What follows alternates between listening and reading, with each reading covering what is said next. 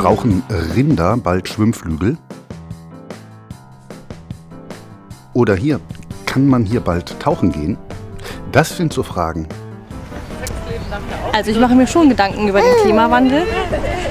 Ja, man fragt sich schon, was so passiert in Bremen und in Oldenburg. Wird da eigentlich überhaupt geforscht? Na klar, wird geforscht seit 2009 und intensiv im Projekt, hier haben wir das Logo Nordwest 2050. Forscher der Universitäten Bremen und Oldenburg, der Hochschule Bremen und anderer Einrichtungen beschäftigen sich mit der Frage, was der Klimawandel macht mit der Metropolregion Bremen-Oldenburg. Welche Auswirkungen hat der Klimawandel für den Tourismus oder für unsere Gesundheit? Wie müssen Industrie und Handel auf die Klimaveränderungen reagieren?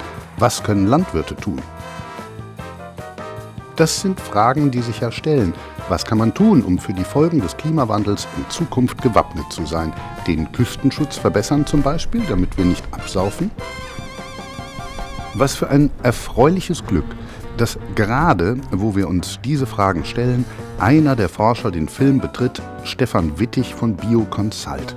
Und nun wollen wir alle doch erstmal wissen. Kann man schon was sagen über Ergebnisse? So grundsätzlich erstmal.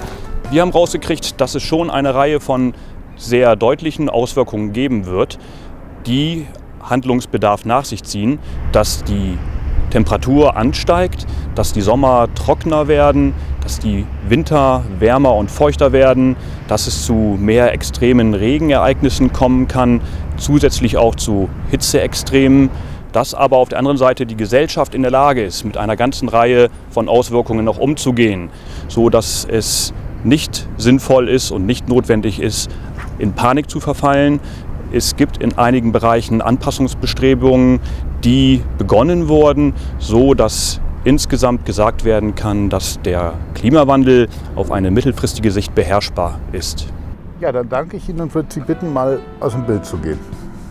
Äh, denn das Bild brauchen wir für unsere kurze erste Zusammenfassung. Also, aussichtslos ist die Lage nicht, aber es wird schon deutliche Veränderungen geben. Gerade Extremwetterereignisse wie Starkregen, Hitzeperioden oder Sturmfluten können heftiger ausfallen. Kurz, auf jeden Fall besteht in vielen gesellschaftlichen Bereichen Handlungsbedarf. Schwimmflügel werden Kühe nicht brauchen und tauchen wird man hier auch nicht können. Aber handeln müssen wir trotzdem. Das war ja schon mal ganz interessant.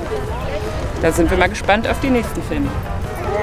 Genau, und in den nächsten Filmen gehen wir dann ins Detail. Biolandwirt Herr Frese wird uns konkret zeigen, was er tut, um mit Extremwetterlagen besser zurechtzukommen. Oder der hier, Herr Stanja, wird uns erklären, was Flächenkonkurrenzen sind und wieso die sich zuspitzen werden. Das wird alles spannend und interessant. Freuen wir uns also gemeinsam auf die nächsten Filme übers Projekt Nordwest 2050.